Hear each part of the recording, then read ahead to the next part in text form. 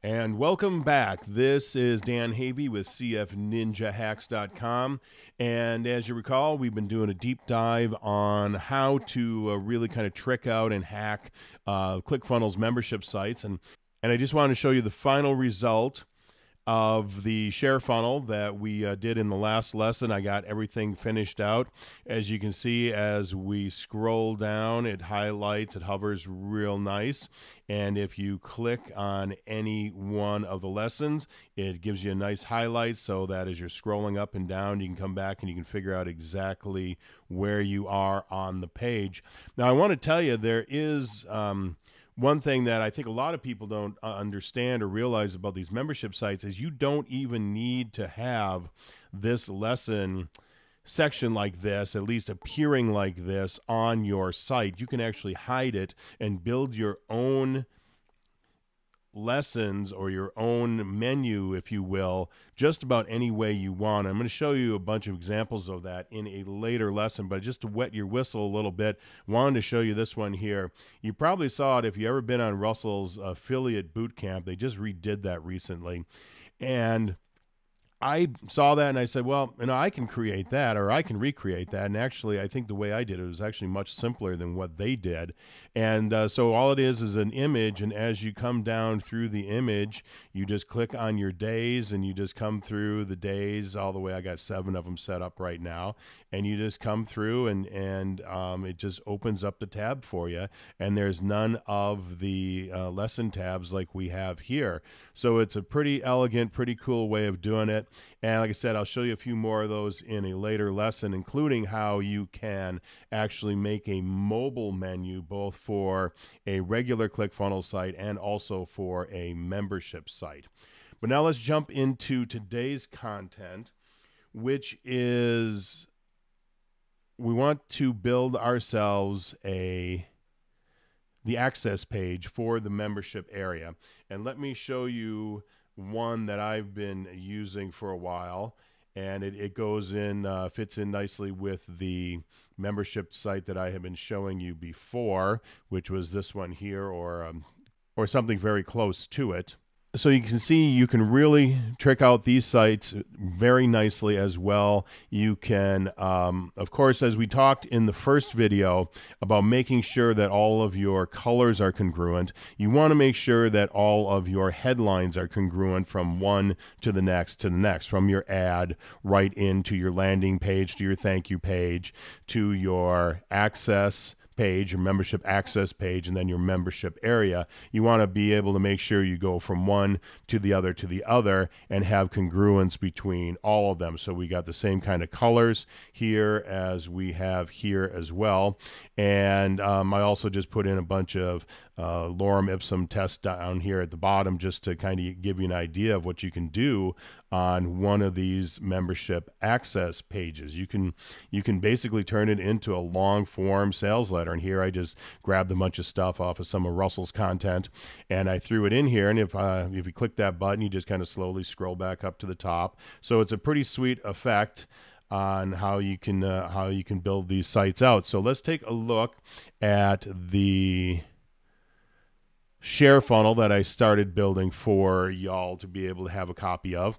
And pretty much I took the exact same idea as you just saw on the other page and built it into this site. I didn't uh, blow out the whole bottom part here, but um, there's really not um, a whole lot to talk about here. You'll get the share funnel and you'll be able to see how to uh, put all this together. But the part I want to show you today is there's actually three hacks in here that I, I want to show you. One is a pretty simple hack, but it's always something to kind of bug me. And I actually got this code from Mark uh, Bangerter, I think is how you pronounce his name. He's the head of, uh, I think, a customer service over at ClickFunnels. He gave me this code, oh, quite a while ago. And so it says down here at the bottom, it says, already a member, log in now. And I never liked that the M wasn't capitalized, and I'd prefer to have it say log in here. So I got the code, and we're going to copy it and go over here into the tracking code. And we want to go into the footer tracking code. There's nothing in here yet, so let's just pop that in. And what this does is it says the this is uh, this refers to a class, and so this right down here is the same class. So this is go to login right down here where it says already a member, and it says just go in there and replace the existing text with it, which is already a member. login now, and you replace it with what I want, which is already a member. login here. So all we got to do is save that. So because I need the super secret sign up URL. I'm going to come over to the uh, this page here and I'm going to pull off this is actually the membership area page. I'm going to pull out the secret sign up URL. I'm going to copy that and I'm going to open up an incognito window and I'm going to paste it in, which I've already done here. So what this did is it took the text that says already a member, log in now, and it changed it to already a member, log in here. Pretty minor. Uh, but you can also use this text for changing out any other code or any other text, I should say, within ClickFunnels that you don't like what it says. So, anywhere in a form like this where you think, oh, I can't really change that, well, yeah, you can. You just got to use this code copy in what the existing text is, put in your text, and of course, you have to change this right here to either the class or the ID that fits uh, for that element. So, the next hack I want to look at is something that's actually kind of bothered me about ClickFunnels for a long time is that if you have a membership site, and especially if you have free access to that membership site, you want people to be able to get there no matter what. But the problem was if you went to the login page, there was not a link to then get you back to the secret sign up URL. And so think of, think of it this way uh, some guy signs up for your site, loves your content, says to his buddy, Hey, you, you got to get over here. You got to sign up for this site. Well, he doesn't have the secret sign up URL to send to that person, especially if he lost his email. So, what I thought is, well, how can we do it to create within the login page? Just put a link in there that would then send you back to the secret sign up page where somebody could then opt in to the site. Now, even if you have a paid site, chances are that within the paid site, you're going to have the sections marked off as being part of a product. So you can only get access to those sections if the person bought the product. So again, you can leave your sign up URL completely open. You can allow anybody to come in because you're going to capture their name and their, well, not their name, their email address. You're going to capture their email address when they come in and then you can use that once they get into the site. They won't be able to get into the paid stuff, but you could have some free content in there. And certainly you could have some advertising material in there. And so that's what I set out to do was to make it so that if anybody lands on the login page, they can go to the sign up page and be able to sign up and get access to the site for free.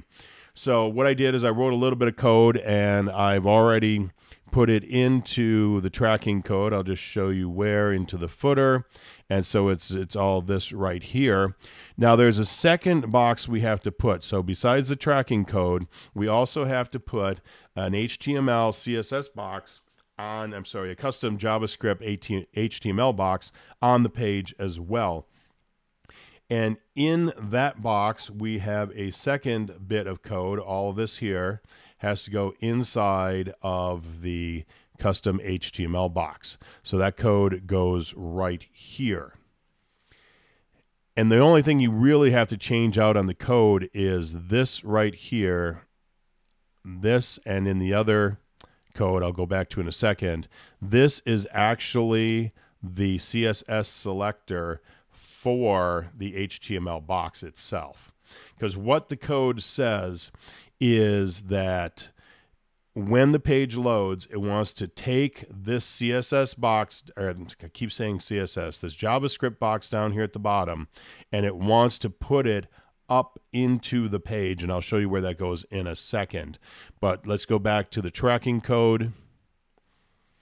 And again, the same thing here. This part has to be changed out to whatever the CSS selector is for the JavaScript HTML box.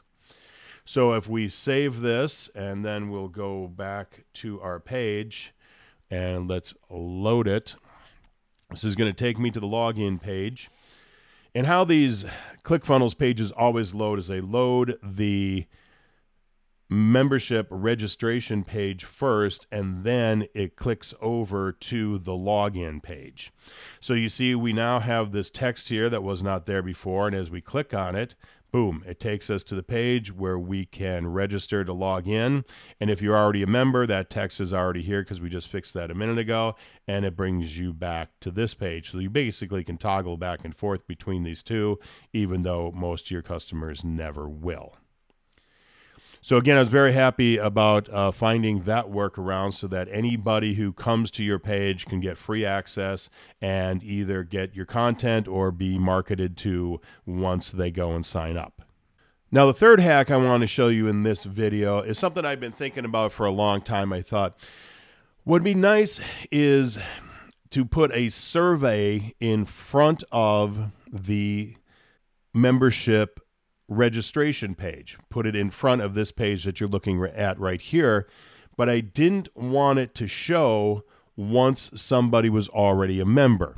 So when somebody lands on the secret sign up URL page, they're going to see the survey. But if they're already a member and they have the link to the login URL, they're not going to see the survey. So basically, they're only going to see it the very first time they come to the site. So I have that already built into this uh, template, but let me show you what you have to do to make it work. First off, let's go in and we're going to manage our sections. And what you want to do is you want to hide every section that is not part of the survey, and then you only want to open up the survey, the first survey element because what's going to happen is somebody's going to come into the site. They're going to, how did you hear about us? Oh, Tony Robbins told me about you. And I click Tony Robbins and then I click on the continue. Of course, I'm not on the live site right now. And then what will happen is they will go to the second survey element and the first survey element will close when then it'll say, This is a paid membership site. You're being granted free access. Please don't share this link. Well, of course, you really want them to share it, but um, this was actually uh, some stuff that I saw Russell and um, Jim Edwards doing one day on Funnel Fridays. So after you have the second survey element clicked on, then it will close and all of the other three elements will open. So let's set this up the way it should be. We'll save it, and if I did my work right ahead of time, it will work. So let's click Save and reload the page. Okay, so they see this. How'd you hear about us? Whether they click something or not is irrelevant because when you click on continue to step number two, you come to step number two, then you click on gain access, and it should have made this disappear. So let's go right back in here, pull that up. Let's open up survey number two and we're going to click on the button and we're going to go to set the button action. And see, I forgot to set the hide element. So we have to go down. We want to hide the element should be 2 dash survey. We will hide that element. And we will save it again. But we first, we have to come in and go to manage sections and we want to hide that second survey element. So we'll save it, reload the page. So the first element on the page that you're going to see pop up here for a second, when this, when you click on it, it hides itself and then opens number two, which will happen right now. When you click on number two, it hides itself and then it opens up all the rest of the sections on the page. Oh, because I've moved the box down, let's just pull that back up. And so the footer is there as well. I thought for a second the footer was missing.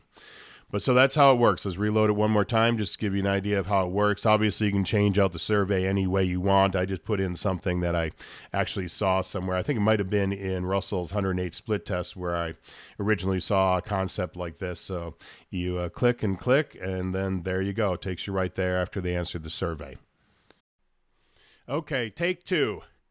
I woke up this morning and I realized that I hadn't shown you the code to actually make the survey element work properly. So let me show you that real quick. So I'll go into the tracking code, footer tracking code, and we have the survey option right here. And what this code says is that when the page loads, it wants to look to see if somebody is logging into the login form, not the registration form. So, again, if you recall, what we want to do is we only want to show this page to people who are coming in using the secret sign up URL. If they're coming in from any other way, if they're coming in from a, a second time because they've already logged in, they've already got the proper uh, URL to go back to the login page, then they will not see the survey. Only if they're coming in from the secret sign up URL will they see the survey. So, what this says is if they are coming into the login page, not the registration page, but into the login page, what you want to do is you want to hide this element. And this is the CSS selector for the survey page, which is right here on the screen. And then what it wants to do is show the other three elements on the page that we have hidden. So it's pretty simple. Hide the survey, show the rest of the page. So you got to go in. If you were to change this out, if you were to put in any other elements, you're going to want to put those here at the end. So you make sure you show everything that's on the page. So let me show you again real quickly how this looks. So here is the uh, secret sign up URL. You come in, boom, boom, and then it shows the page. But if you come in through the login and not the secret sign up URL, what it'll do is it will show this element just for a few seconds and then it'll wipe it out and it will put in the rest of the page. So now I'll take you back to the video I shot last evening. So that's it for this lesson. Uh, we got a couple more coming up. We're going to go through some more details on things you can do inside of the members area as far as how to display content. We're going to look more into how you can um, really hack and trick out the the the lesson section.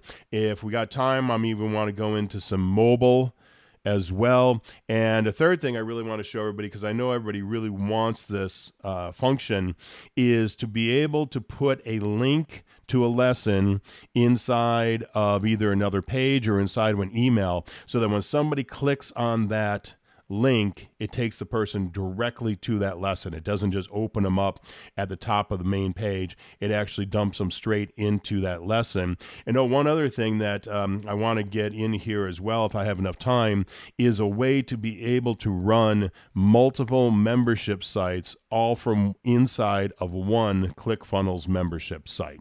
So hopefully this was educational. Hopefully you liked it. And if you got any questions, just shoot me uh, shoot me one over at support at uh, cfninjahacks.com. And until next time, have a good day.